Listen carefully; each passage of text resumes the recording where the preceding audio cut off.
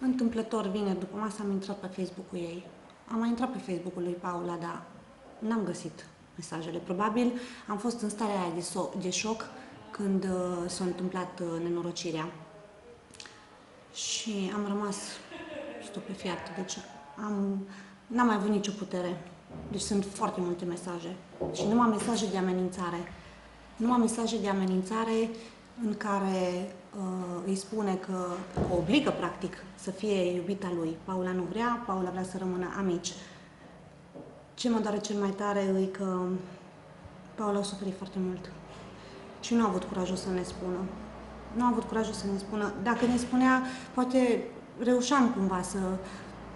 Nu că poate, sigur reușeam. Îi puneam interdicție, îi puneam, făceam ceva. Uh, Am trimis mesajele astea pentru că poate foarte multă lume condamnă. Cam apărările oamenilor sunt împărțite. Că ce copilă la 15 ani, iubit la 15 ani, în loc să-și vadă de școală. Alții că o oră târzie, ce umblă noaptea, ce...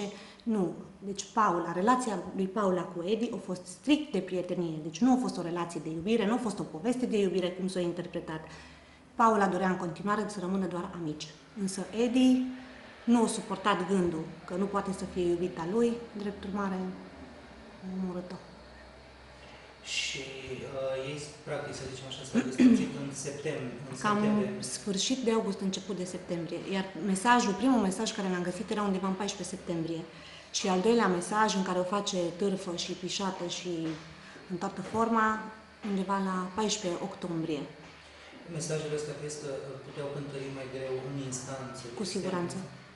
Deci putea fi omor premeditat. Așa crezi că așa Da, premeditat. Și mă întreb și mă gândesc, de ce nu le-am putut găsi atunci? De ce, de ce acum? Telefonul Paulei a fost blocat. S-o, gând- s-o chinuit de la procuratură să-l deblocheze. Nimeni nu l-a deblocat. Dacă îl debloca forțat, se ștergea tot, nu se găsea nimic. Întâmplător, o prietenă de ei a visat parola. uh, Da, parola de pe telefon. Și așa am intrat pe telefonul ei. Repet, erau foarte multe mesaje, dar nu am găsit mesajele astea, fiind în 14 septembrie, în 18 sau în 14 octombrie, cine s-a gândit? Noi am uitat exact perioada aia, decembrie, să vedem ce s-a întâmplat, ce a discutat. Nu, și le-am găsit bine. Dar sunt sigură că dacă noi găseam atunci mesajele la proces, era altfel. Cu siguranță nu putea să-i dea mai mult de 15 ani, că e pedeapsa maximă la minori. Dar poate era altceva, nu știu, Probabil, cum considerați pedeapsa asta mai mică, mare? foarte mică. Pentru ceea ce au făcut, e foarte mică. Ar trebui ca în Orientul Mijlociu, dinte pentru dinte, ai omorât să fie executat. Pentru că și cazul de la Iași, putem spune că a fost copie la Indigo. Dacă Edi era executat, nu se întâmpla nici la Iași. Deci 15 ani și nu o să facă 15 ani. Dacă o să facă 7 ani, cum o să, cum o să pot să-l văd?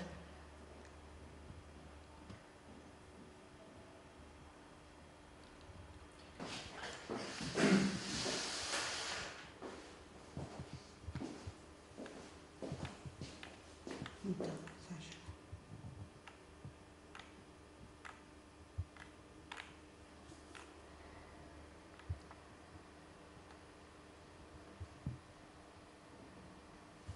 așa. Am ceva de așteptat. Mă rog, ca data trecută. Mureau în chinui să mori. Ok. Spune cum era relația ta cu Paula la școală? Eram două, eram două prietene foarte bune, ne înțelegeam foarte, foarte bine, stăteam mereu, mereu cu ea în bancă și mai mult eram așa ca doi copii zglobii, ne râdeam când ieșeam de la școală, deci nu povesteam. Mereu câteodată era tristă, dar nu îmi spunea de ce și ne înțelegeam foarte bine. Și când ai aflat ce s-a întâmplat, cum ai, cum ai reacționat? A, nu mi-a venit să cred, deci nu mi-a venit să cred. Chiar eram, eram într-un supermarket și m-a sunat o colegă de clasă și mi-a spus că tu, Dalina, ce s-a întâmplat cu Paula? Și am zis, nu știu, că nu, că n-am știut și mi-au spus tu, Dalina, toată lumea îi scrie pe Facebook, Dumnezeu să uh, dormi în pace. Eu n-am crezut prima dată și după aia, când am avut și eu internet, am intrat pe, pe, pe uh, rețeaua de socializare și când am văzut, deci nu știu, nu mi-a venit să cred, numai după ce chiar au apărut la televizor, uh, Și ultima dată când te-ai întâlnit cu ea, știu când a fost? Cred că eram, eram încă la școală, da. Și, uh, eram la școală, da, eram la școală. Și ți s-a părut ceva, știu eu, ciudat la ea, diferit, schimbat? Uh, nu. Nu, chiar nu. Uh, odată mi-a spus când am ieșit de la școală că mi-a povestit, dar nu ceva trist. Mi-a povestit că Eduard a iubit-o foarte mult și că a făcut foarte multe chestii pentru ea, că i-a cumpărat tot ce a vrut ea. Deci,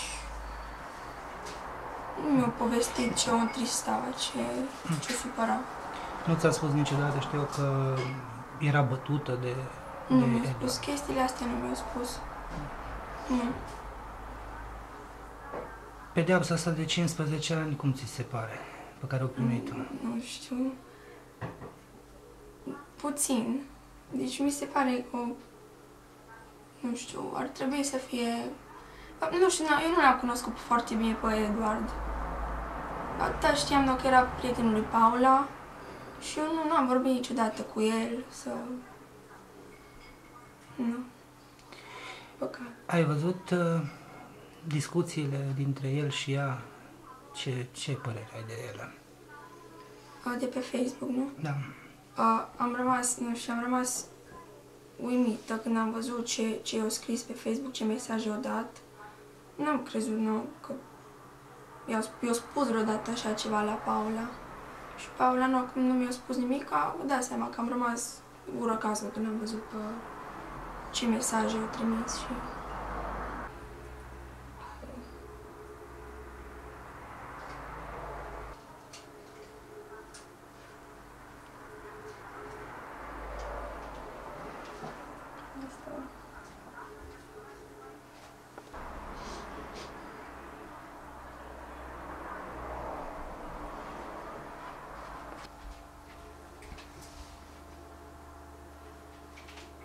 la tati că mi groză, că e tata meu. Dar noi am fost la Paula, la mormânt și de la Paula am mers la tati și când v-am văzut, deci noi oricum plângeam amândouă, deci nu pot, pur și simplu nu pot să... Da, Ați citit, ați citit mesajele, mesajele Le-am văzut.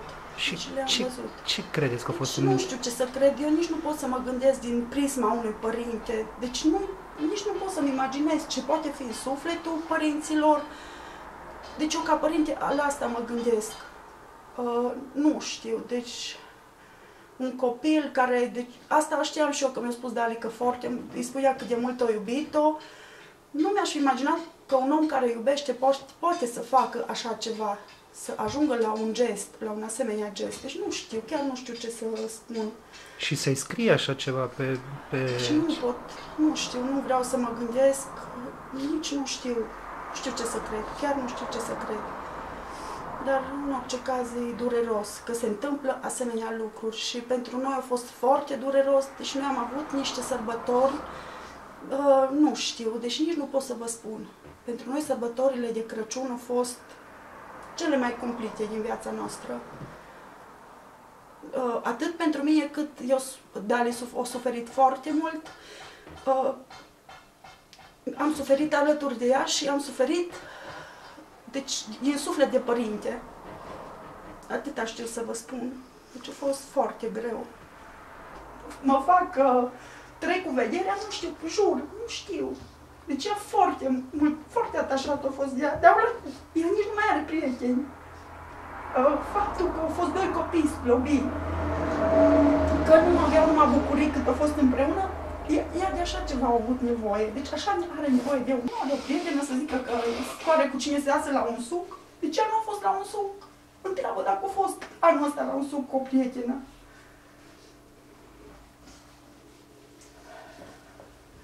Deci la noi, spun, la noi sărbătorile au fost groaznice, groaznice. Nici, nici nu vreau să mă gândesc, mai ales că soțul vine acasă numai de sărbători și vara. Deci mi era milă săracul de el, dar pur și simplu de contul, nu, și și și și